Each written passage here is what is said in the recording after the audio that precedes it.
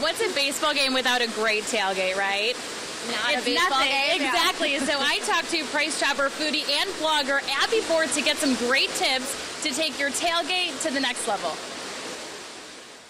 So we love hot dogs, we love hamburgers, but you're changing things up for us. Right, let's think beyond what we're used to at the tailgate. So Love. today I have for you some grilled nachos, actually. And so what's so great about this recipe is that you can prep everything at home. All you have to do is make a little foil boat. I'll show you that in just a second. And then you get to top your nachos with anything you want. They're just so good. And you're gonna Love have to have these nachos at your next tailgate. You can cater to everybody because That's it's so easy for nachos. Okay, so where do you start? Okay, so you start by creating this very fancy Very foil fancy. boat. um, just roll it up so that none of your toppings can fly off the side because it's windy. Thanks for helping me it. out. Yeah, yeah, no problem. Um, start with a generous portion of chips. It doesn't Okay. matter what kind you want.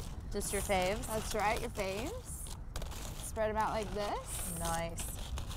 Okay, so chips on the bottom. The thing with nachos, it's important to layer. So you Okay. start with layer. You gotta have plenty of cheese. I know, I love cheese. Yes, make sure it doesn't fly off. I have some rotisserie chicken. Okay. So it's really easy, already prepared. Oh, yum. Throw it on like this. And nice and fresh too. Yeah. Dark meat, white meat, doesn't matter. I like to put some black beans on here. Okay. And we're at a tailgate, so I'm gonna use my, my fingers.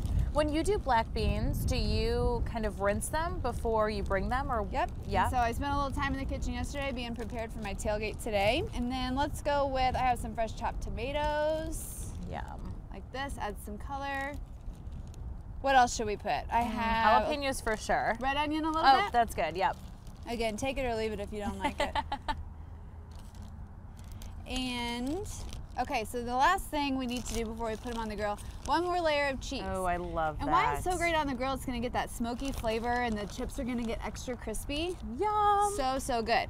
Okay, we have a few more toppings that we'll add on at the end. oh, those are for the end. Okay. Jalapeno. Um, oh, I have this barbecue sour cream sauce. You're gonna die for it. And some cilantro. So Oh, that's perfect. it. My grill is already prepared and magically I already have a finished product here. nice. So you we can to grab switch them? these out. Oh, that's a little hot. How do I grab them? Just like that? Yep, just Magic. I can hold this and Don't burn Slide 'em all yourself, children. All right, there it is. So we close the grill. So now we have our nachos. You see how the, the chips got Oh, nice and golden, the so cheese is so melted.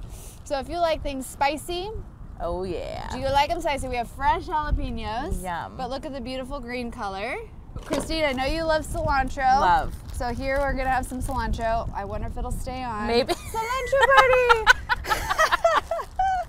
That's awesome. okay, then the finishing touch is going to be my um, barbecue sour cream sauce. Okay. Oh my gosh. And again, I made this all at home the night before, so it's ready to go. Your tailgate partygoers are going to just die. They're gonna love you. And again, maybe you have a burger on the side, but these nachos are gonna be what people are coming back for. love it. That So food looks so good. I know, those nachos were dynamite. So I'm gonna fill you on a little secret. That sauce was half barbecue, half sour cream, equal parts. It's so good.